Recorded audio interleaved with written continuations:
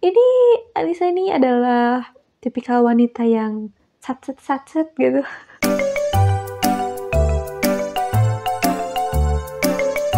Hai semuanya, balik lagi di game Citampi Stories dan untuk video kali ini adalah edisi pulang kampung bareng Anissa, ibu guru cantik, ibu guru baru yang ada di kampung Citampi ini dan di sini aku lagi pilihin bajunya Anissa dan aku suka baju yang ini salah satunya. Jadi biarin dia pakai baju ini buat pulang kampung. Untuk Anissa, kebetulan aku punya uang yang lumayan. Pas-pasan banget untuk mobil elit. Ya, gak kebeli sih. Jadi aku bisa beli mobil yang standar harganya 15.000 dengan kecepatan 100%. Kita beli. Wow, uangku menipis. Aduh, kaget banget. Uangnya cukup ya untuk dua kali beli bensin. Sabar ya, kita kerja lagi ya.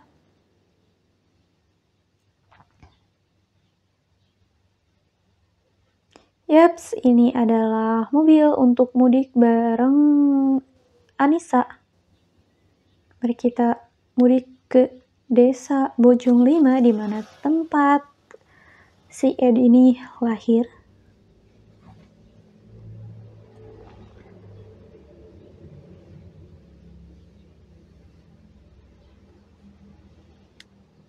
Dan siap, ini adalah reaksi Anissa pertama kali ke Desa Bojong Lima. Katanya, jujur aku tuh seneng banget akhirnya bisa lihat kampung halaman kamu dan huh, enak banget udaranya. Iya sayang, mudah-mudahan kamu betah ya. Gimana pun sekarang ini rumah orang tua kamu juga. Ih, seneng. Ih, pasti betah dong. Udaranya masih sejuk banget di sini dan ayo kita masuk. Eh, gimana? Aku gandeng kamu ya. Ini Alisa ini adalah tipikal wanita yang sat-sat-sat gitu. Beda banget sama Indah itu kakaknya apa adiknya ya? Aku lupa. Kakaknya? Ah, aku lupa. Iya, sayang dan lagi-lagi mengetuk pintu orang tua. Ini kayaknya orang tuanya aneh gak sih dia pulang bawa beda-beda istri? Bapak ibu kali ini Ed bawa menantu seorang guru. Dan eh Ed pulang. Katanya mah ada Ed nih sama istrinya. Dan wah ibu kangen loh sama kamu. Kamu sehat-sehat aja kan Dan eh Nisa akhirnya datang juga nak di rumah bapak ibu. Iya bu, seneng banget udaranya enak banget di sini. Nisa bakal betah banget di sini. Ih, makasih nak, sering-sering main ya ke sini. Ibu dan bapak seneng banget loh kalau kalian datang. Pasti bu, kan sekarang orang tua Nisa, bapak ibu juga. Dan langsung pindah. Wah, ini beneran cucu nenek ya. Gak kerasa udah gede. Waktu seharusnya udah sekolah ya. Udah. Ini anaknya laki-laki namanya aku lupa. Sadara apa ya? Dan yap, ayahnya ah, selalu bilang, kok kita ngobrol di sini ya? Ayo masuk dulu, kalian pasti capek ya.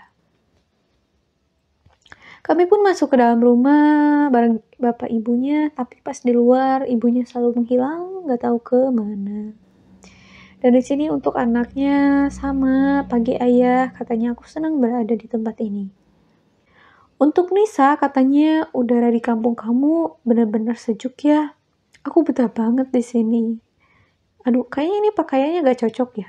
Kayak semilir anginnya tuh kerasa dingin gitu. Bulu kuduk merinding.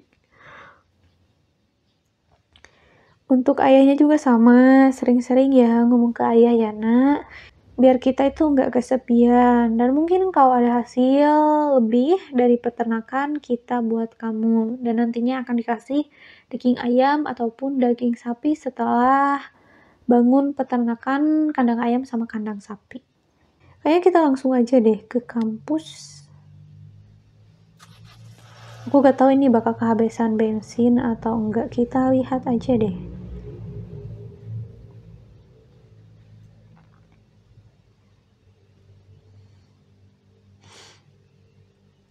Oke, saat di kampus, untuk Sadara, dia hanya bilang, siang ayah, aku senang berada di tempat ini. Dan untuk Anissa sendiri, ini kan guru, kan dia pasti pernah ngampus gitu, pernah kuliah. Katanya, kebiasaan suasana sekolahan SD di sini muridnya besar-besar semua ya. Biasanya kan, oh, aku baru keingetan loh, Anissa itu kan uh, guru SD di Citampi. Nah, anaknya itu kan baru masuk SD. Dia dia jadi dia itu ngajar anaknya sendiri dong. Kita lihat reaksi gimana kalau anaknya gak masuk sekolah. Dia kan gurunya di sana.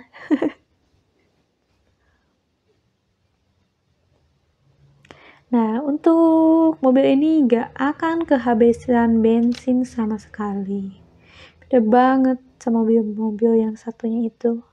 Nah, tetap aja sih walaupun dia guru di sana katanya oh tapi kan setelah nikah nggak kerja ya? Aduh kok aku lupa. Anak kita saudara tidak masuk sekolah kemarin. Aku barusan dapat telepon dari kak Seno kayaknya. Dari sekolah bahwa nilainya menurun. Hmm? Tapi nilainya cuma 10 loh menurunnya aku gak paham deh. Nah oke okay, sekian video mudik edisi pulang kampung bareng Citampi. Kali ini bareng Nisa dan anaknya Sadara. Terima kasih sudah menonton.